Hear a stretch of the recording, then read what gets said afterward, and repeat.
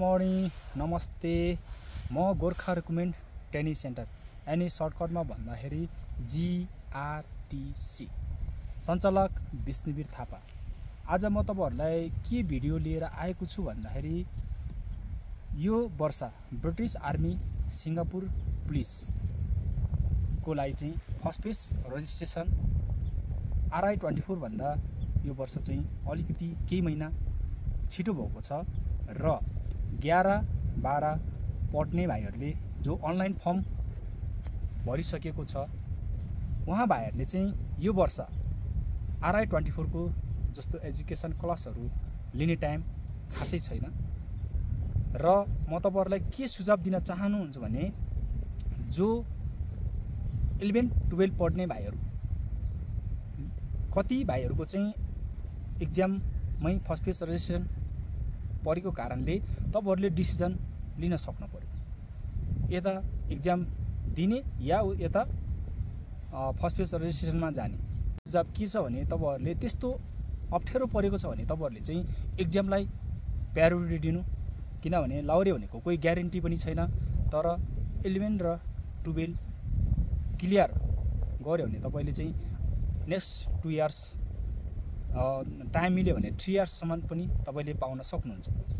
र कति eleven twelve पढ्ने भाइहरू छ उहाँ भाइहरूले इक्जाम दिनेको दिएपछि जो एक हप्ता बिस दिन वान मन्थ म्याक्सिमम् भनेको चालिस दिन टाइम पाउँछ र तपाईँहरू एक हप्ता मात्रै टाइम पाए पनि नजिकै छ भने त्यही दिनमा ट्रेनिङ सेन्टर जोइन गर्नु होला र अलिकति टाढा छ भने त्यही दिनमा नाइटमा हिँड्नु होला र पूर्वको भाइहरू चाहिँ बुद्ध चोकमा झर्नुहोस् पश्चिमको भाइहरू पृथ्वी चोकमा झर्नुहोस् अनि हामीलाई कल गर्नु हामी तपाईँलाई रिसिभ गर्नेछौँ।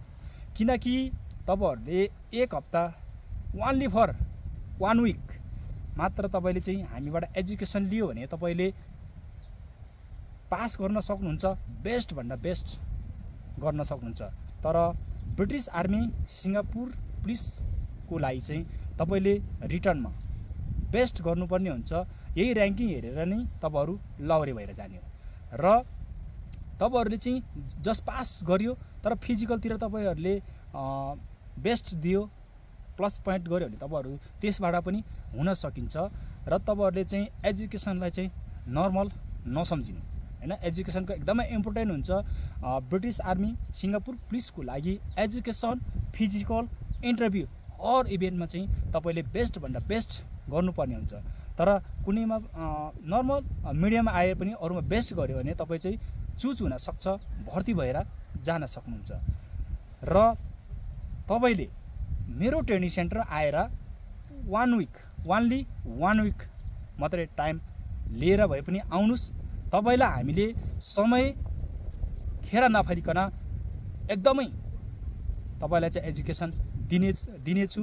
र तपाईँले पनि मिहिनेत गर्नुहोस्।